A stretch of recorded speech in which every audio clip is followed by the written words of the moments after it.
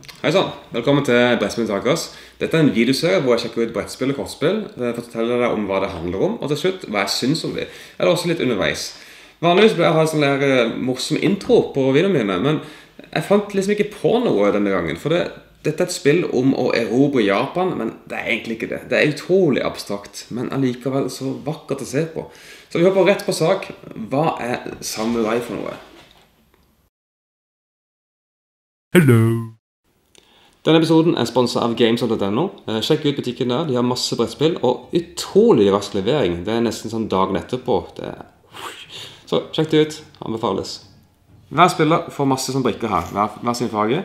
Men de har bare fem av disse tilgjengelig per gang. Så når det er min tur, så velger jeg en av mine tilgjengelige brikker og legger ut på brettet.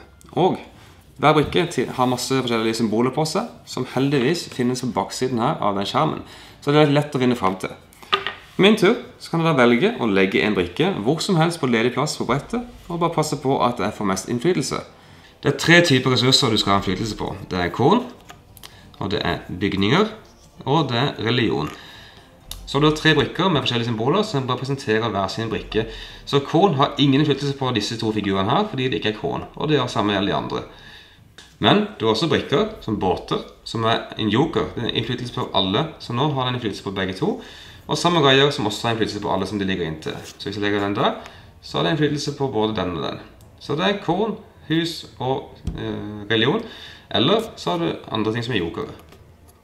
Men spillet er veldig enkelt. På min tur så legger jeg en brikke. Så legger jeg kanskje den her der, sånn. Da har jeg fire innflytelse, kan snu mot kamera, fire innflytelse mot disse to budene. Hver for seg. Så kommer rød spiller, han har lyst å legge hus for å få innflytelse der. Og så kommer grønn spiller og legger en joker der for innflytelse. Fordi rød har ingen innflytelse på kornet ennå, mens nå har grønn innflytelse på den og to på den. Så er det gul igjen. Han da legger en, en korn der. Sånn. Nå er kornet omringa. Og da ser vi, da er, sjekker vi om vi har en vinner. Vi har fire korn mot null korn mot to korn. Fire korn går til gul. Så gul får den brikken og legger bak skjermen sin. Så går vi videre, og vi ser hva som skjer. Grønn legger en sånn der.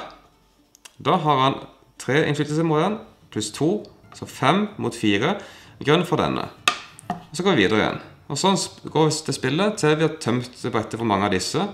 Eller til det har vært uavgjort flere ganger. For hvis det er uavgjort, så går disse brikkene bare ut. Og det er spillet. Ja da, spillet er ganske enkelt. Det er legget inn brikkeomganger. Men du har også brikker som endrer litt på den regelen. Eksempel her, så er dette symbolet som betyr lynbrikke. Du kan spille denne brikken og en brikke til. I tilfellet her så kan du bytte ut to figurer før de er liksom eh, tatt inn. Eller så kan du sette inn båter, altså en ny båt og en ny båt og en ny samurai, eller hest som heter. Og, og du kan også ha en eh, brikke som gjør det gjenbruk av en annen brikke. Så det, det er mange måter å manipulere brettet på. Eh, og så spørs det hva som er lurt, avhengig av hvor mange spillere du er. Så kartet er jo avhengig, Størrelsen på kartet er avhengig av antall spillere også. Og det fungerer fint med fordelinger her. Og Av og til så har det vært mange konsentrerer seg på én øy, mens av og til så er det krig overalt. Og jeg syns spillet fungerer veldig bra. Det er utrolig enkelt å lære, kjempelott å se på, og kjapt å spille, ikke minst.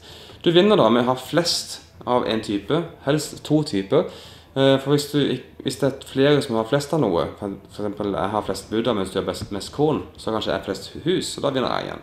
Fordi det var nesten jeg var mest. Så det det er virkelig stilig spill altså, som jeg sterkt kan anbefale. Og veldig rent og stilfullt. Altså. Bare se på dette. Veldig nydelig. Ok, takk for at du så på denne episoden med Brettspill Takas. Jeg håper å se den i neste episode. Og hvis du har lyst til å ha innflytelse over hvilke spill jeg kommer til å anmelde i framtida, sjekk ut Patrion-kontoen min, og sjekk ut eh, hvordan du kan støtte meg finansielt, og få en stemme framover, da. Men også legg igjen kommentarer. Det setter jeg veldig stor pris på, på hva jeg kan gjøre bedre. Ok, tusen takk for nå. Jeg håper å se deg i neste episode. Ses.